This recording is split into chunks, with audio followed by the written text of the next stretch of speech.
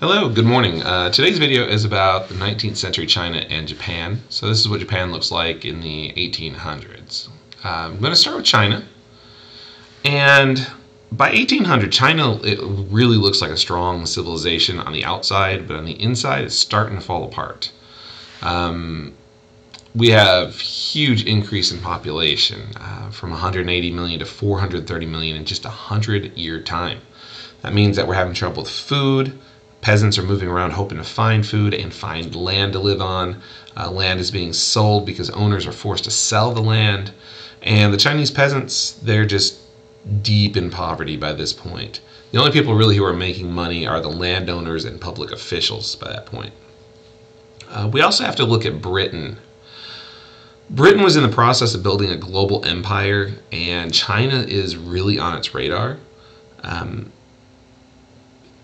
what would happen is the British merchants would import a lot of tea and porcelain and silk from China, and then they would try to sell stuff back, but the Chinese didn't want to buy any of it. That means that the British, they're forced to pay the Chinese for the goods in silver. Now, to balance the cost of imports, Britain is going to start selling the drug opium to the Chinese and get them hooked on drugs. By 1830, uh, eight out of every 10 people that live in the city of Canton were addicted to British opium. Now, a lot of people make huge profits off of this. Um, the Chinese government's going to become really, really um, horrified over the number of profits being made by the British. And also, the addiction issue gets really, really bad. Uh, so, the silver that Britain had used to pay China now turn to China paying silver for British drugs. And the script is really flipped around. So the Chinese government is going to declare opium illegal, and this leads to something known as the Opium War in China. uh, there's a Chinese government official named Lin Zexu who was sent to Canton and ordered the Chinese and foreign merchants to surrender all the opium the British agree, but instead of giving it to this Chinese official, they're going to put it onto naval ships that belong to the British Navy. And that makes the opium property of the British government. Now, the Chinese officials are going to choose to board the British naval ships. They seize the drugs, and the British government is going to claim that was an act of war. And then war is declared by Britain on China September 4th, 1839 Uh, it's very simplistic to say the war doesn't go well for China, but the war goes really, really badly for them. By the end of summer 1842, the British forced the Chinese to sign a treaty, and this treaty is known as the Treaty of Nanking. It's a very one sided treaty. One of the things that happens is China's opened up. Originally, where China only allowed the British to do trading in one one port, the city of Canton. Now there are going to be five ports open. Uh, the city of Canton, Amoy, Foochow, Ningpo, and Shanghai are all going to be opened to the British. That means British merchants, British government officials, British families can all move to those five cities. Not only that, but the British forced the Chinese government to pay for all the destroyed opium. And so Britain gets $21 million from this. Hong Kong is given to Great Britain, and Hong Kong will stay British until 1997. And then anything that Great Britain wants to get from China, basically China has to give them. If another country is given something, then China has to give Great Britain that exact same thing. And then finally, uh, the Treaty of Nanking allowed British subjects to be tri- tried and arrested according to British law. So Chinese law did not apply to British citizens anymore. Now, after the British beat the Chinese, the French are going to get involved in it too. And France has their own little opium war that goes from 1856 to 1860. And it's pretty, this, the reasons for it are pretty sketchy. supposedly there's a French religious figure, a French missionary, who is supposedly arrested and tortured and executed by the Chinese, and the French are going to use that as an excuse to declare war.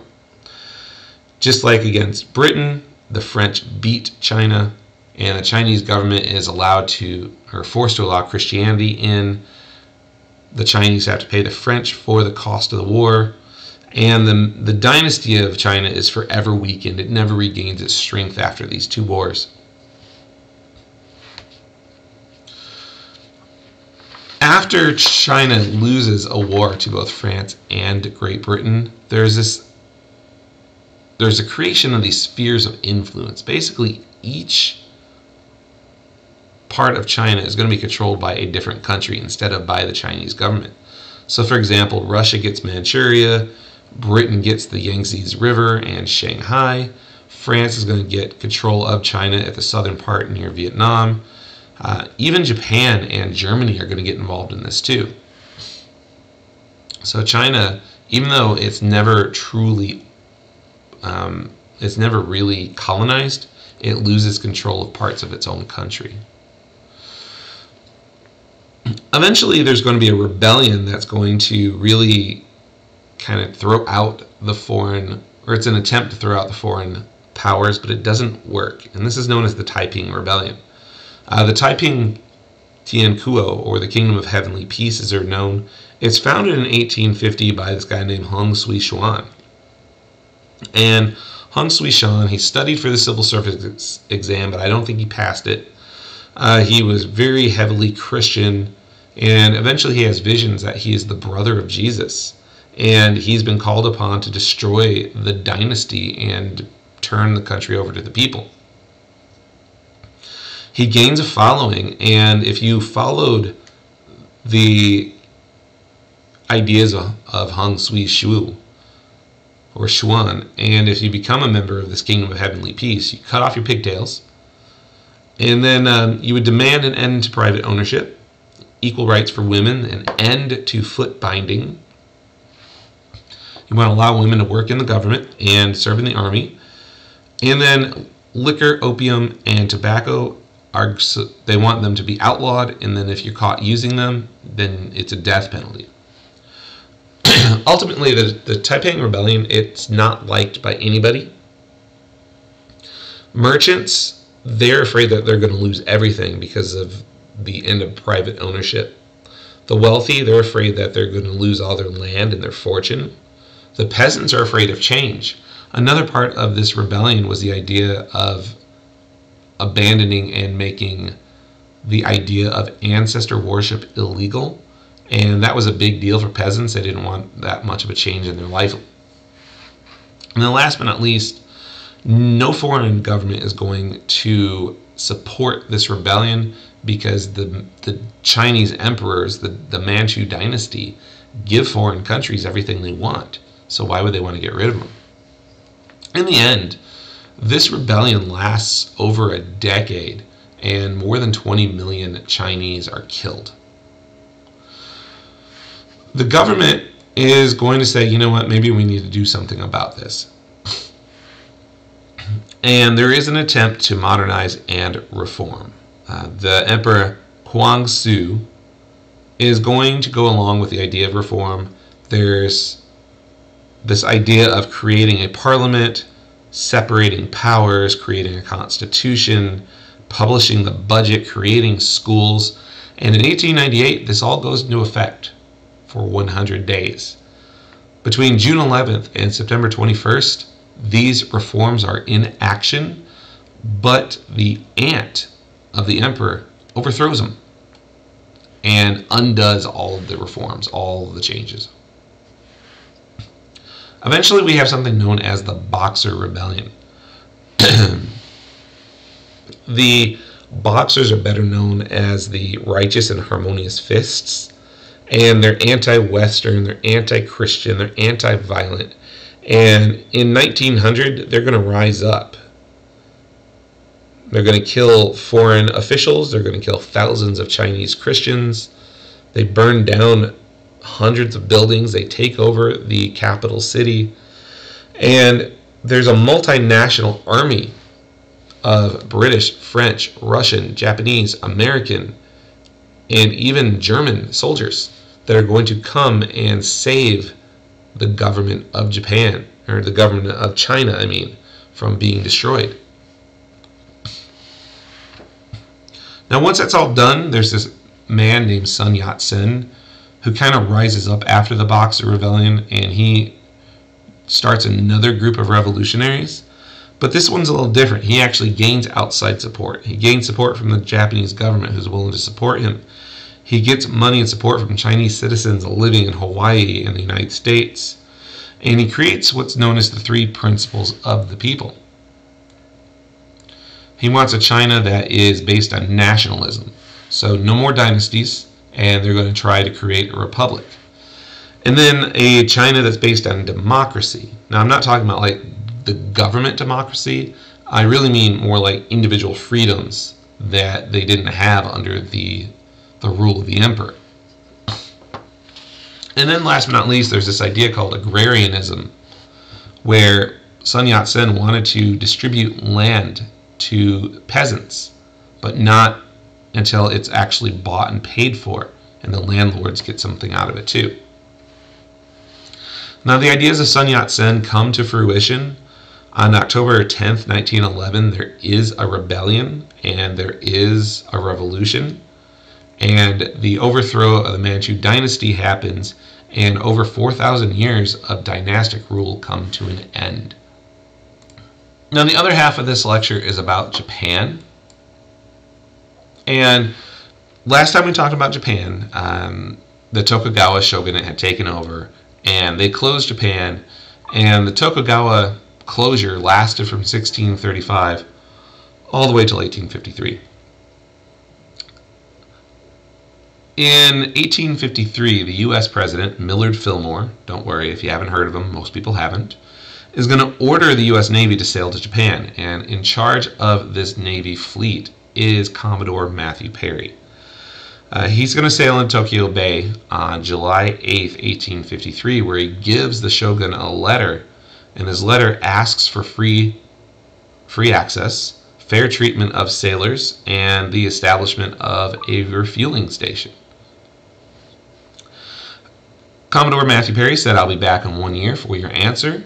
And in 1854, Perry returns. And when he returns, the U.S. and Japan will sign a treaty known as the Treaty of Kanagawa. Under the Treaty of Kanagawa, it's completely unfair to the, China, the Japanese. Um, U.S. citizens are protected by the U.S. Army. U.S. citizens are only subject to U.S. law. Tariffs are set so that Japan cannot sell anything to China. To uh, Japan can't sell anything to the United States, but the United States can sell anything it wants to to Japan. And within two years of that treaty being signed, there are 15 other countries with a very similar treaty. And Japan is open and can't go back. Now, the arrival of the United States into Japan is really going to cause a lot of debate within Japan. And there's this question over whether they'll adapt or whether they'll try to stay the same. And in 1866, the Choshu and Satsuma clans are going to agree with each other that the emperor should be restored, the shogunate should should fall apart, and they're going to take control of the court, overthrow the shogun, and appoint the emperor into political power. Now, the emperor was only 15 years old. His name at the time was Mutsuhito, but we know him better today as Meiji and he's going to rule all the way from 1868 to 1912. This becomes known as the Meiji Restoration. Now, the Choshu and Satsuma clans, they're really going to run the government, but Meiji is the, the figurehead. And they're going to try to westernize. Um, April 1868, they get rid of classes. They are going to call for a public like a public assembly, a government assembly becomes known as the Diet. Feudalism is is ended. Samurais have to turn in their swords, and a Western style military is going to be created. Japan is going to ask Western advisors to come in and help them modernize, and then Japan also sends students and advisors to other countries to learn what they can from Germany and Great Britain and the United States and France and all those European countries. Eventually, this will come to a constitution, and the Constitution of 1889 it's going to settle on a constitutional monarchy very similar to what the Germans had. Uh, there's an emperor and his advisors, and then there's going to be basically a military advisor who can do whatever he wants. The parliament or the diet is created that can make laws and advise the emperor. It's got two houses, an upper house and a lower house. Voting rights are given to anybody over 25 years of age who pay taxes. And then they're going to be given freedom of speech, religion, press, the freedom from search and seizure, except in cases provided in law, meaning the emperor could stop freedom of the press or freedom of religion in certain cases. By the year 1890, the J Japanese population is over 50 million people. It's out of food, it's out of resources, and the Japanese government is going to organize this colonization project. Eventually, Japan just decides it wants to take territory and starts to take land near it. Uh, most famously, it takes over Korea and makes Korea a, a colony but it's also going to go to war against Russia and take over parts of Manchuria. Now, Manchuria, never mind the fact it was actually part of China, uh, it didn't control it. Uh, it was controlled by Russia because of spheres of influence. after beating China in war and after beating Russia in war, Japan is going to be seen as a fully westernized country, and it is a fully westernization, a full industrialization in less than 60 years. And by 1910, Japan is seen as an equal power and it is treated as an equal to any European country. All right, nice and short. We're just a little over 15 minutes. I appreciate you watching. Thank you.